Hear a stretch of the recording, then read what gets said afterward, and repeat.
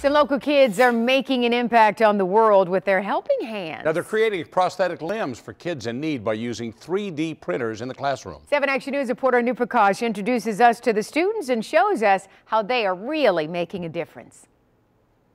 What the kids here in the Novi Community School District are doing is part of a global network creating 3D printed prosthetic arms like this.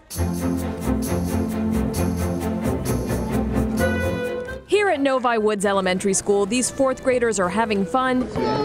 We pulled this out. It's like playing Operation. While making a difference. They're creating prosthetic hands and arms for kids around the world. We're making these prosthetics hands so then they could have an easier life. Their mentors, members of Novi High School's robotics team.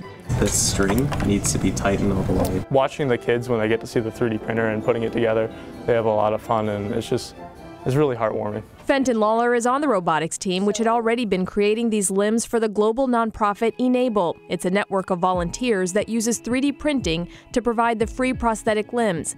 This is one of the lives changed by the work of the Novi teens.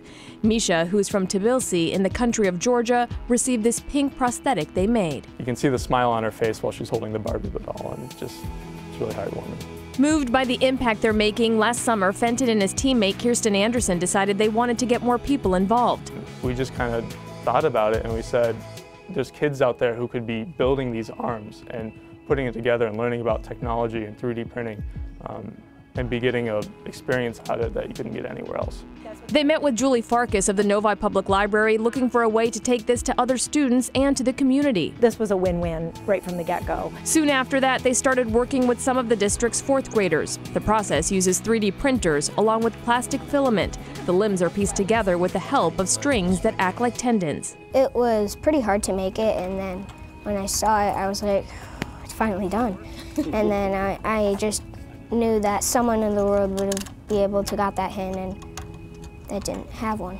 And just last month, this Helping Hands project went beyond the classroom into the library, where community members got a chance to make them. We were able to create an assembly day and sign up people who were interested in learning more about the hand or making a hand. Plans are already in the works for the next Community Assembly Day. Thanks to donations and the desire to be of service, they're all able to change lives. So far, nearly 100 arms and hands have been made. Not just the movement, but also the fact that they have a limb there.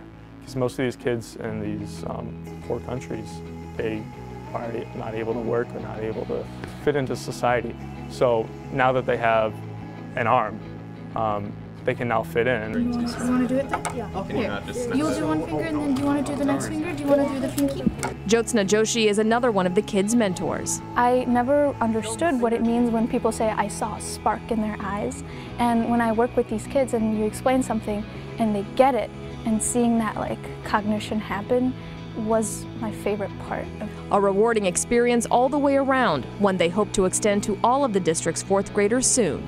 I think it's great because even though we're kids, we still get to make a difference because some people have to wait to make their difference, but we already get to do something amazing like this.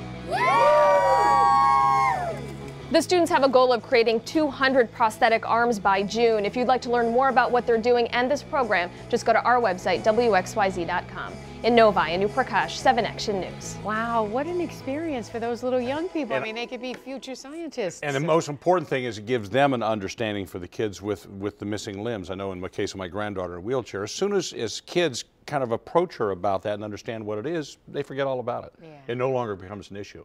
So I think these kids will have more of an understanding for kids with yeah, disabilities. She said when she sees their reaction and their eyes yeah. light up, that's all the right, best good. part. Good on them. Fabulous.